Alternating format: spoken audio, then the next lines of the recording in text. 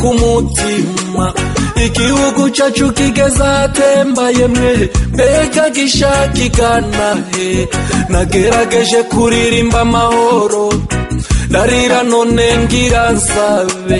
Hari ubwo nibaza ko ndiko ndarota iyo mbonye ibiba umunsi oh, oh, oh, mutima wanje ukuririra cari igihugu c'amata n'ubuki tukava ibururi tugashika ingozi yemwe aho twaba twigiriye i rwanda. Utinya ibikoko bumaze kwira warakomanga aho ugeze hose. Umuntu atakuzi akaguha indaro kakuzimana agasasu karyama waburusha agashusha amazi agakanda ukeye ugakomeza urugendo.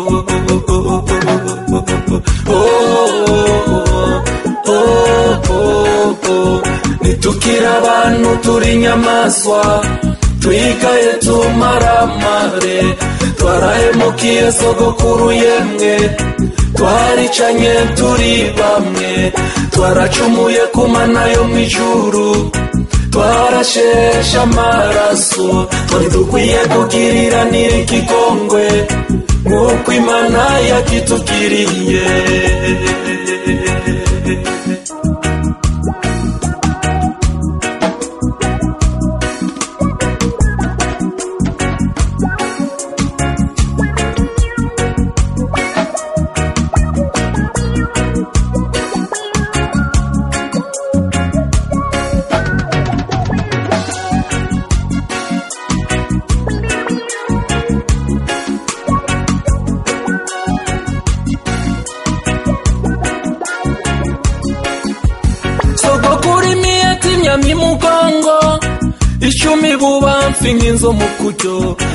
yumvise rumariza n'ibipfu vyiwe yemwe bavogereye igihugu cacu abwira abanyagihugu ngo bamere magabo bitegurire kugwanya umwansi bagiye ku rugamba bafatanye mu nda abahuta abatutsi abatwa baganwa barajabutse inzuzi zitagira ibiraro bakwana ningoni nambwe ningwe. Rumarisarateshwara taraunga sogokuru aragaza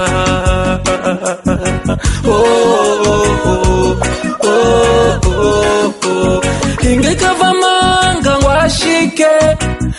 N'igitabo cera mu kiganza ati mana yo mw'ijuru rera yemwe. Kiranga yambugwa amabanga adupima amazuru adupima ibirenge dutera ingwara y'amacakubiri uwo mwahora mukutsanya umukenke ni we yahindutse umukeba uwo mwahora musangiye umuhora ni we yaguhonya kw'abawe bose.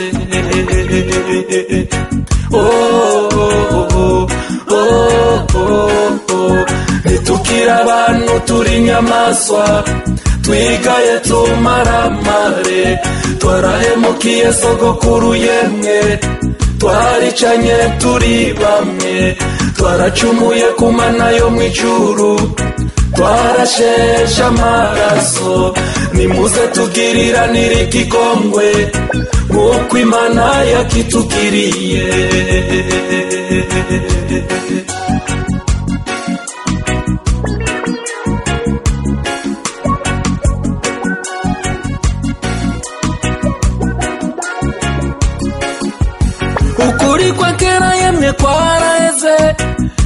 ikinyoma carafashe ijambo aho kubona ko twabuze twese yemwe tuguma duterana amajambo umuhutu ati abatutsi baraduhoneje umututsi ati abahutu baratumaze umutwe ati jewe n'ibindi kuko nkumirwa n'amoko yose ab'ingoma z'abami bakitotomba ati iyo twava tweho twarahonye atahari umwamikazi yasigaye ibisaka ahari umuganwa aho hari umuganwi mbega yemwe ivyo vyadaditswe nande ninde azobidadanura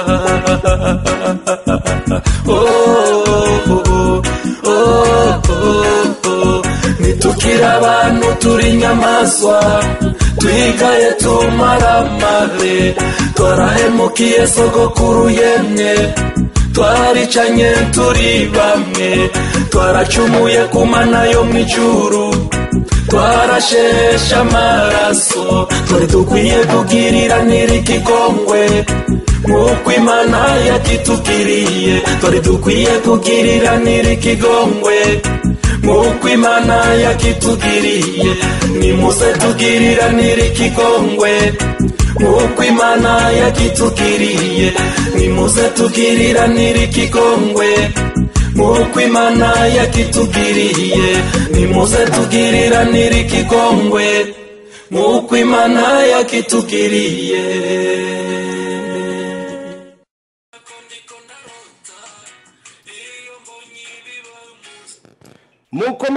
mukomere mukomere cyane mwese aho muri umukunzi wanyu makundi baramukije kuri uyu munsi wa jumapili.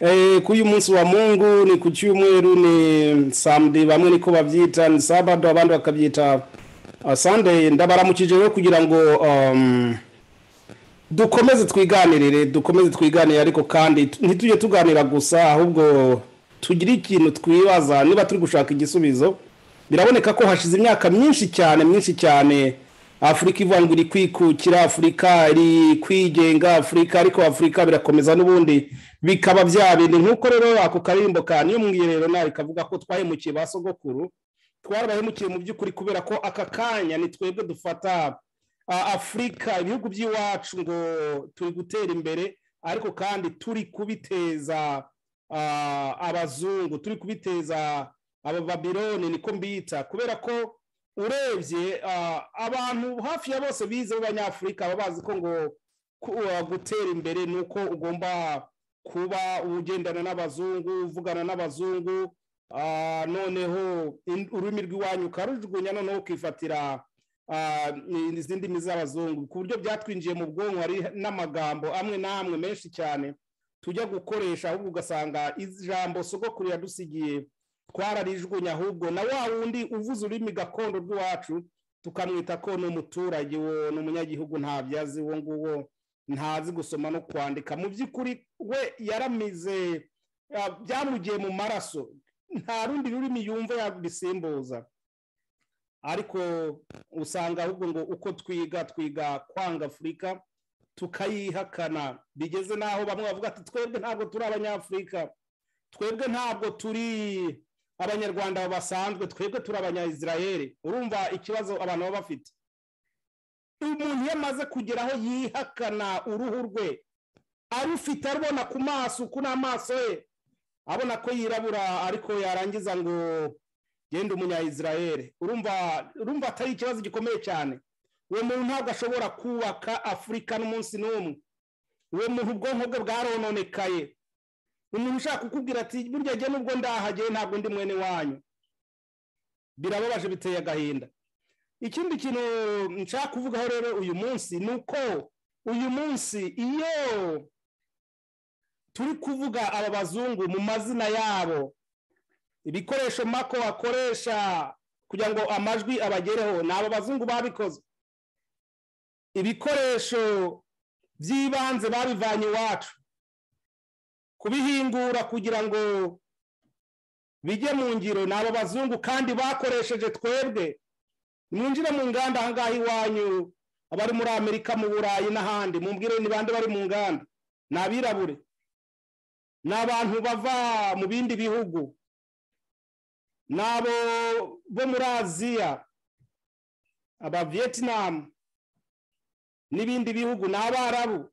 Nibo bakora ibyo ntabwo ari abanyamerika babikora. Abanyamerika icyo bakora bapanga umutwe ahubwo bakavuga bati twe dukeneye abantu bakora imirimo y'amaboko reka tubateze intambara.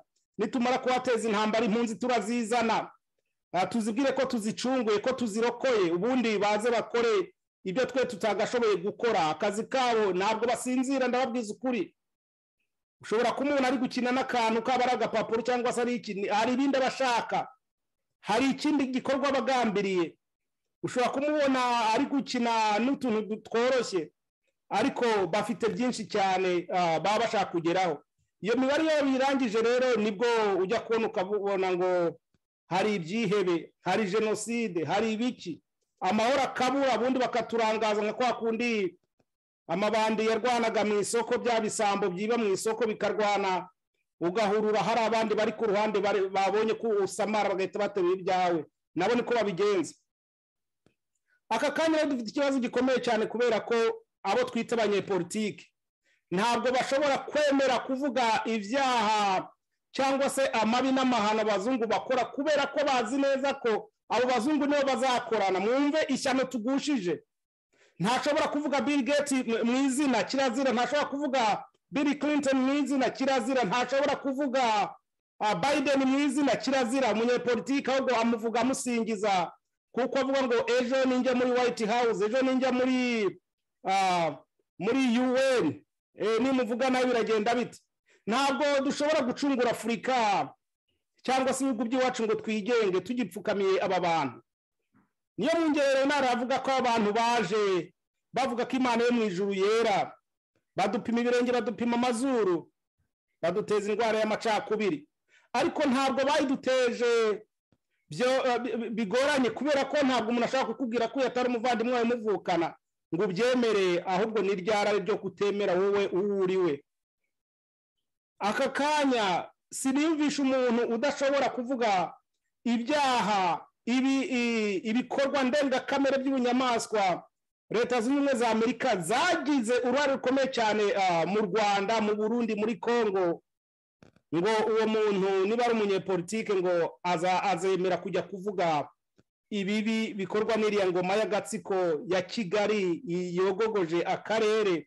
Uyu muntu ntabwo ushobora kumubwira ko ibiri kugenda mu gihugu atari byo arakubwira ati we ntubona ko n'abazungu babirimo? Uwo muntu uzajya umenya ko ari imbata. Uwo muntu ntabwo ashobora gukorera igihugu. Ashobora kubyiyitirira ariko ntabwo bimuriho. Aka kanya iyo turi kuvuga iyo bati mwebwe muri ibyihebe he bazabahambiriza basubize iwacu ntabwo twanga iwacu. Ahubwo ikibazo niba tugiye gusingiza aba bantu batumye afurika ishwanyagurika ikaba bushambara tukaba dushobora kubatinya kubera ko turi iwabo. Nyamara kuba turi iwabo ntibivuze ko tugomba kuba abaretwa ntibivuze ko tugomba kwibagirwa kuba iwabo ni ukuvuga ngo ibagirwe ibyabaye byose.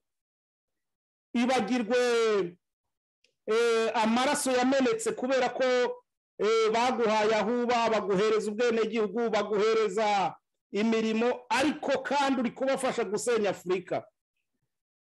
Ibi bintu twakagombye kubivuga dushize amanga nta kurya iminwa kubera ko niba ba sogokuru barakoresheje amacumu ba sogokuru bakoresheje imyambi nta kindi kintu bari bafite bakarwana n'ibyo bihanyanswa bo byo bifite imbunda.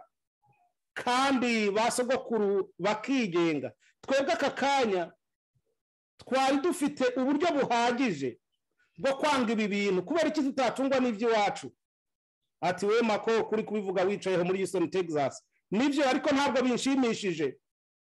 Ikibazo dufite muri politike ni kimwe.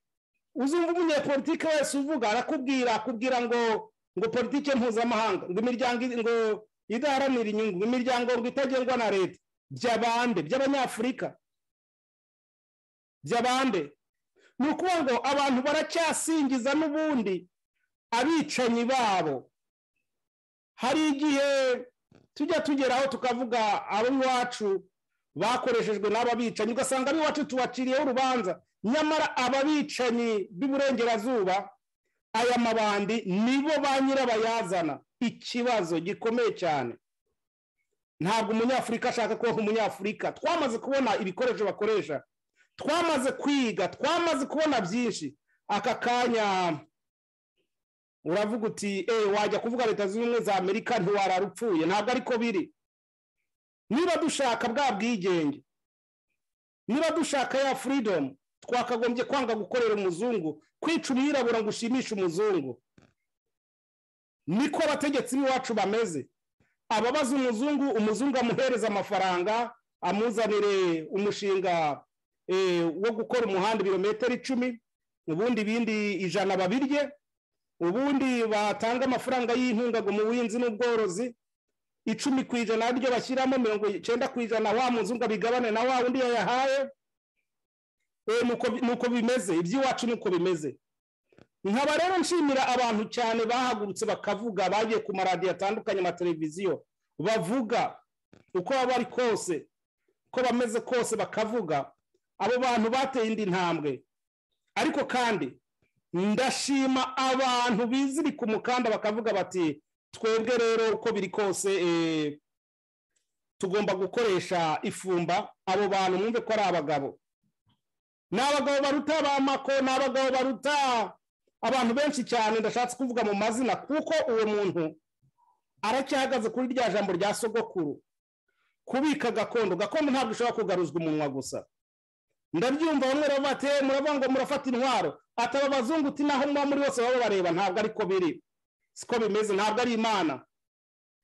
Abo bantu bajya bumva ko baba bari gutiza umurindi. Abo bagashaka buhake icyo dushaka twebwe ni uko afurika yigenga. Ni uko dushaka ko twisubiza uburenganzira bwacu. Ntitukajya twirirwa tuvuga ngo abazungu bagize ni twebwe tubikora. Abo bazungu bakorana na ba banyepolitike nababwiye birirwa basingiza aba bazungu. Ntabwo ibibazo by'iwacu bishobora kubaho hano muri iki gihugu ndimo n'umunsi n'umwe. Nta n'iminota itanu byahaba kuko abenegihugu bahita bi- ako kanya bahita bitabara. Nta mutegetsi ushobora kwibeshya ngo ngo agiye gukora mu nyungu. Na niba ariba mu ibanga rikomeye cyane ku buryo ibyo bintu bidashobora kugaragara. Biba gute rero ni uko biba bakoreshejwe bakoranye na- n'abo biyita abategetsi b'iwacu. Ba bandi batakibuka uko barya igitoki atakibuka uko basonga ubugari. Hari umushuti wanjye w'umunyamerika ariko kubera ko arakuze yavukiye hano ntumubazi iwabo. Iwabo ni muri muri muri dominican republican hano ahangaha muri za caribbean. Noneho rero yarambwiye ati bampaye ku bugari numva buraryoshye ariko nawe ngiye kuzabikora ati mbwira ucumba gute ubugari usonga gute? Ati nko mu bikombe bitanu ushyiramo ifu ingana gute ndamwa wa muhungu. Ngewe rero ubugari ngewe mpfa kuba mfite amazi n'ifu mpita ntabwo nzi ko bapima ibyo bipimo. Ati gute ushobora gukora ubugari nta bipimo wakoze ati utazi amazi ukoresha utapimye ifu nyumvira. Ibintu wavukanye ibintu wavukanye ntabwo iri kujya mu bipimo. Upfa kuba wavuga ati e iyi fu ni ikiri iri hano irapimye. Iby'amazi biraza kubyimenyera iraza kuba intambara hagati y'umwuko n'intuze eh, ni- ni- n'ifu nta kindi kindi. Ubundi umuriro ni- n'isafuriya bikora akazi kabyo. N'uyu munsi ntabwo abyumva yaratashye rero. Ngo aragiye nawe ngo ngo arabivuruze agiye ati reka data ibyanze. Anyereka kuri telefone ati byanze wapita inkoraho byose bikamfata ku ntoki. Ntabwo ari uko. Urumva ndamwigisha n'umuntu warambwira atahangayitse arambwira ati oke ati ndabikora. Bwakeye anzanira mu- gasafuriya niba ari agasafuriya gasana ati dore noneho byakunze. Ariko nabireba n'ubundi nkabona byakunze byanze urumva? Ni ikibazo. Kubera iki? Kubera ko aka kanya mu myaka mirongo itanu atangiye kwibuka ko iwabo ataraha iwabo si aha ngaha. Ikibazo rero gihari gikomeye cyane. Abantu b'iwacu usanga reka da no kumubwira ngo abe ya- yakoza n'imodoka ntabyo yashobora. Oya kirazira kiziririzwa. Umuntu ushobora kumubwira ati ese wateka ibijumba gutoya reka reka reka wateka ibiraya gutoya. Ibyo ntabyo azi nyamara ntibumve ko twebwe ako ni akarusho dufite kubera ko niba umwana wa hano avuka ibyo bintu byose agomba kubirebera kuri kompiyuta ntabwo ariko bimeze. Ntabwo ariko bimeze. Ikintu rero kigaragara ni uko twebwe babanje kuturoga. Batubwiye ko twebwe tutari abantu. Batubwira ko twebwe eh, twebwe rwose imana yacu atari imana. Batwizeza neza ko bo ari bo bantu bazi ubwenge. Nyamara kwari kugira ngo batuvane kuri zahabu kuri diyama ku mutungo kamere mu kirere cy'iwacu. Ikindi nta hantu muzabona amerika yateje intambara hatari ubutunzi. Niyo mpamvu abantu bo mu karere k'iwacu bagomba gukunda akarere kabo cyane kuruta ibindi byose bushobora kwishuka muri ibi bihugu. Nta kintu gihari kidafite inkomoko iwacu. Ntacyo. Bibabaje rero nuko umunyafurika abona ko adatuye i burayi ntabwo ubwo yaba ari umuturage usanzwe. Ngibyo bitwishe nyamara muribuka neza ko iwacu izi kanseri n'ubumuga budasanzwe ntabihaba. Iwacu ni igihugu cy'amata n'ubuki nk'uko ah, niyo mbwireyo narabiririmba ntabwo rero ngiye kubatindira kugira ngo tuganire kandi twibaze n'ubundi ni ikiganiro kizakomeza twibaze kubera iki? Abanyepolitike b'iwacu batinya. Kudoma ku rutoki cyangwa batinya kuvuga amabi y'abazungu ahubwo ngo bakajya muri diplomasi mu kiganiro cy'ejo nabwo ko diplomasi ni ububeshyi twibuke neza dufatire akarorero kuri dufatire akarorero kuri somaliya somaliya barwanye na amerika igihe kiratinda. Twibuke neza aho muri afghanistan. Turebe neza abazungu uko bakora. Reba ibiri kuba muri hano hirya mu burusiya na ukraine turebe bimeze biti iyo babonye badashobora ntabwo bajyamo. Ndagira ngo mbabwize ukuri ko ibintu bita miriya cyangwa se iri tangazamakuru muryirinde. Yaba bbc yaba ijwi rya amerika byaba ari ibiki? Ibirimo byose ni bya bindi bya propaganda kubeshya. Koza abantu ubwonko kukwereka amashusho. Kugira ngo akure ibitekerezo byawe ntuze kureba hirya ntumenye intangiriro y'ibyo bintu. Murakoze rero umukunzi wanyu makoreka mbarekera ahangaha mugira icyumweru cyiza tuzongera ah, mu yindi minsi y'icyumweru dutangira ejo. Murakoze mwirambire ariko kandi mugire ubutwari bwo kurwana kuri afurika atari ukuvuga ngo mwirwanirire ahubwo murwanire abana banyu. Ejo bazasange dufite afurika nziza. Baye